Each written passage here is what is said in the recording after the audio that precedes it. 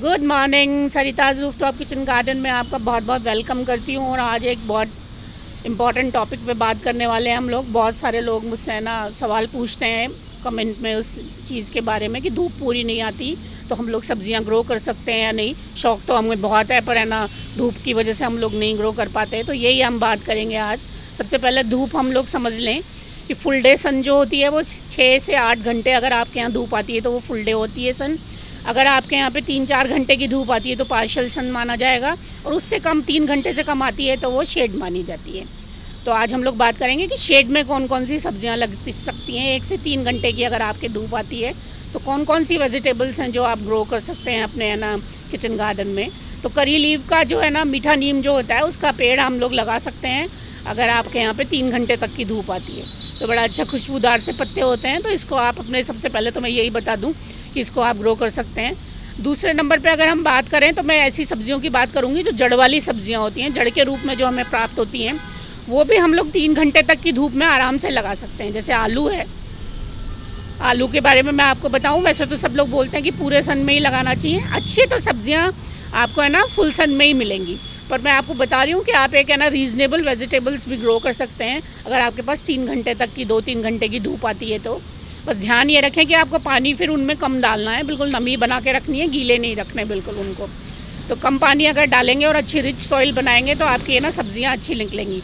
दूसरे नंबर पे आलू के बाद अरबी को भी हम लोग है ना शेड में पार्शल शेड में ग्रो कर सकते हैं आराम से। बल्कि अच्छा रहता है अरबी को पार्शल शेड में या शेड में ग्रो करना। देखो आप धूप में कैसे जले जले और छोटे पत्ते हो गए इसके, जबकि बारिशें चल रही थी तो कितने बड़े बड़े पत्ते मिल रहे थे, इसके धूप नहीं आ रही थी ज़्यादा। तो ये भी है ना, हम लोग अरबी भी है ना उगा सकते हैं पार्शल शेड में या शेड में। उसके अलावा अदरक और हल्दी जो है वो बहुत अच्छी उगती है पार्शल शेड में। आपको देखो, ये सारी जड़ वाली जो सब्ज़ियाँ हैं ना, इनको बहुत ऊपर से धूप नहीं चाहिए होती। अच्छे अगर आप रिच है ना, मिट्टी तैयार करें तो सब बड़े आराम से दो तीन घंटे की धूप में हो जाते हैं। मूली, देखो आप, मूली को भी आप है ना, धूप छाया में उगा सकते हैं। फुल सन में भी आप बहुत अच्छे से ग्रो कर सकते हैं और शेड में भी ग्रो कर सकते हैं। बस मैंने जैसा कि आपको बोला कि पानी का आप थोड़ा सा ध्यान रखें। मूली बहुत अच्छे से ग्रो होती है शेड में, कोई दिक्कत नहीं। है और गोल वाली जो छोटी मूली होती है ना रेड और वाइट वो तो बहुत ही बढ़िया होती है ग्रो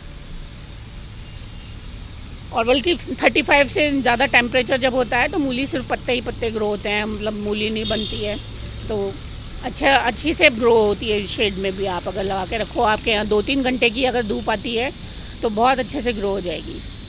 मूली को भी आप ग्रो कर सकते हैं। तो आलू तो मेरा एक टंकी में तो बिल्कुल बिना धूप के ही ग्रो होता है। बस मैं पानी नहीं डालती हूँ उसमें। एक या दो बाल्टी पूरे तीन महीने में डालती हूँ। इसके अलावा आप ये देखो बीट रूट बहुत अच्छे से ग्रो होता है। बड़ी सब्जियों के बीच में अगर आप इसको लगा देते हैं तो बहुत बहुत अच्छे से ग्रो होता है। बीट रूट टर्निप जो होता है, शलजम, दोनों ही चीज़ें बीट रूट और शलजम दोनों ही बहुत अच्छी तरह से ग्रो होती हैं। शलजम तो मैंने अभी लगाया नहीं है, पर बीट रूट मैंने पहले थोड़ा जल्दी लगा दिया था। और वो अब जमने भी लगा है और बहुत ही टेस्टी पत्ता होता है इसका बीट रूट का भी।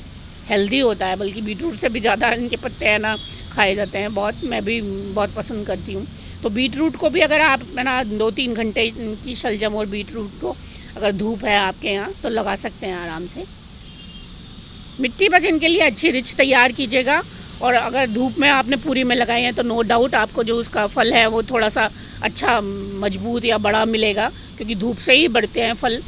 और अगर आप थोड़ी कम धूप में आप लगाते हैं तो रीज़नेबली है ना, वो थोड़ा सा छोटा हो जाता है फल आपका। तो ये तो अंतर पड़ जाता है, पर फिर भी आप ग्रो कर सकते हैं। ऐसा नहीं है कि ग्रो नहीं होती। इसके अलावा गाजर को भी आप है ना पार्शल शेड में ग्रो कर सकते हैं आराम से। दो तीन घंटे की धूप मिल जाती है, पानी बहुत ज़्यादा चाहिए नहीं होता। और है ना, बढ़िया से बन जाती है। बस मिट्टी हल्की रखें, जिससे ये जम, जमने में नीचे इनको दिक्कत ना हो।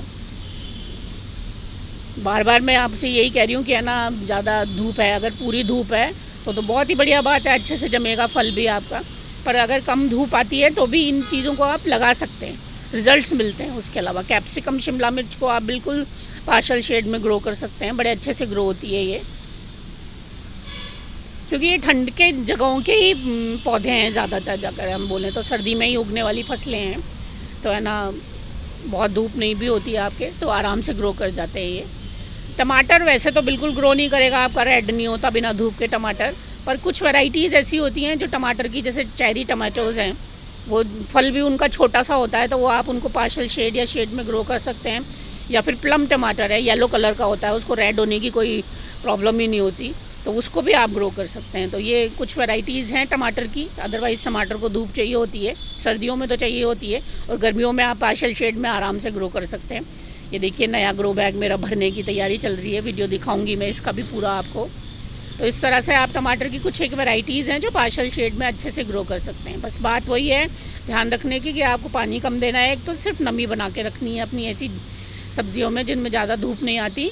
और है ना, दूसरा मिट्टी बहुत अच्छे से तैयार करें रिच जिससे उनको ग्रोथ लेने में दिक्कत ना हो। सिंगरी की जो फली है, ये है ना, आधी ग्रीन आधी पर्पल तो वैसे ही होती हैं कलर की, और जो भी पर्पल वेजिटेबल्स होती हैं ना, वो बिना धूप के सर्दियों में, तेज़ सर्दियों में आराम से ग्रो कर जाती हैं। तो सिंगरी की फली भी आप लगा सकते हैं, अगर आपके पार्शल शेड आती है तो कोई दिक्कत नहीं है।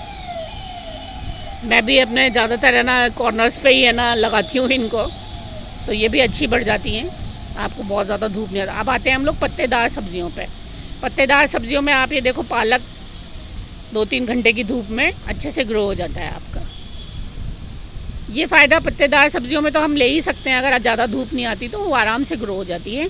बिल्कुल दो तीन घंटे की धूप मिल जाए इनको तो क्योंकि फल तो प्रोड्यूस नहीं करना होता है, इनको सिंपल सी बात है। पत्ता ही पत्ता होता है इनमें खाने के लिए तो ये आराम से ग्रो कर सकती हैं। तो ये भी आप पार्शल शेड में लगा सकते हैं। पानी कम रखें, अच्छी रिच मिट्टी तैयार करें और जब भी पालक तोड़ें, उसके बाद थोड़ी सी फिर से खाद मिला दें उसमें। तो ये पालक बहुत अच्छे से आपके ग्रो हो जाता है और बड़ी फ़ायदेमंद सब्ज़ी है सर्दियों की। तो ये ग्रो करना तो बहुत ही अच्छा रहेगा आपके लिए अगर धूप नहीं आती है आपके यहाँ पे।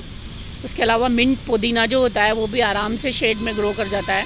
अभी देखो ये बिल्कुल ख़राब हो गया था बारिशों में और फिर से फूटने लगा है ये। इधर मेरे भी इस पॉट में बिल्कुल छाया सी रहती है सर्दियों में। और गर्मियों में भी ये तो शेड में ग्रो कर जाते हैं। गर्मियों में तो बहुत ही अच्छे ग्रो करते हैं पार्शल शेड अगर आपके पास आती है ये सारी चीज़ें। धनिया को भी आप है ना पार्शल शेड में आराम से ग्रो कर सकते हैं। एक दो घंटे की धूप अगर पत्तेदार सब्जियों को मिल जाती है ना तो बहुत होती है उनके लिए, उनका उनके ग्रोथ के लिए। तो धनिया भी आप है ना पार्शल शेड में आप लगा के और फ़ायदा ले सकते हैं अपने किचन गार्डन के लिए। इसके अलावा अगर मैं बात करूँ मटर की, मटर को बहुत अच्छी ग्रोथ होती है। पार्शल शेड में पानी बिल्कुल चाहिए नहीं होता होता क्योंकि मटर को ज़्यादा बहुत कम पानी में होती है। तो मटर को भी है ना आप, अगर आपके दो तीन घंटे की धूप आती है तो आराम से लगा सकते हैं। तो कोई टेंशन की बात नहीं है। बहुत सारी वेजिटेबल्स होती हैं सर्दियों में जो आप लगा सकते हैं। इसके अलावा अभी देखो, मीठी तुलसी बेजिल जिसको हम लोग बोलते हैं, दिल जो सीड्स हर्ब्स जो होती हैं, जो सारी जितनी भी हैं, वो भी हम लोग है ना पार्शल शेड में ग्रो कर सकते हैं। अच्छी सी खुशबू बनती है इनमें। एक दो घंटे की धूप लग जाती है उसी में। मैंने आपको बोला ना, पत्तेदार सब्ज़ियाँ और जो जड़ों की वाली सब्ज़ियाँ होती हैं, जड़ों के रूप में जो बनती हैं, वो आराम से हम लोग पार्शल शेड में या शेड में ग्रो कर सकते हैं। तो जिनका फल बहुत बड़ा बनना नहीं होता ना, फल बनने के लिए धूप चाहिए होती है बहुत। ब्रोकली जैसे ठंडे प्रदेशों की वेजिटेबल है, हमारी वेजिटेबल नहीं है तो इसको भी हम लोग है ना पार्शल शेड में ग्रो कर सकते हैं। और आजकल ग्रीन कलर पर्पल कलर की सब है ना गोभियाँ आती हैं, वो भी हम लोग पार्शल शेड में ग्रो कर सकते हैं। तो ये आसान है बोल क्योंकि है ना ग्रीन और पर्पल कलर की गोभियाँ जो सर्दियों में, वो थोड़ी सी कम धूप में भी हो जाती हैं। पर्पल कैबेज है, जैसे हम लोग पर्पल कैबेज को भी मैंने कुछ लगाया हुआ है। अभी गर्मी थी तो बहुत अच्छे से लगी नहीं है, पर इसको भी हम लोग है ना पार्शल शेड में या शेड में ग्रो कर सकते हैं। तो देखो, आप कितनी सारी वेजिटेबल हैं, पंद्रह से भी ज़्यादा वेजिटेबल्स हो गई, जिनको हम लोग शेड या पार्शल शेड में ग्रो कर सकते हैं। कम धूप आती है तो भी कोई समस्या नहीं है। आपकी गार्डनिंग चलती रह सक, सकती है उसमें भी। बिल्कुल ही बिल्कुल धूप नहीं आ रही हो तो थोड़ी सी दिक्कत है ना रहती है सब्ज़ियाँ उगाने में क्योंकि थोड़ी बहुत धूप तो चाहिए ही होती है सब्जियों के लिए। तो देख लीजिए आप लोग अगर आपके यहाँ दो घंटे की भी धूप आती है पर्याप्त मात्रा में तो है ना आप पानी कम दे के और अच्छी मिट्टी बना के मैं बार बार बोल रही हूँ कि ये दो शर्त तो पूरी करनी ही पड़ेंगी आपको अगर आप शेड में या पार्शल शेड में ग्रो करते हैं वेजिटेबल्स तो। तो इन सब्जियों को लगाइए सर्दियों में खूब आराम से अपने परिवार के लिए वेजिटेबल्स पाइए।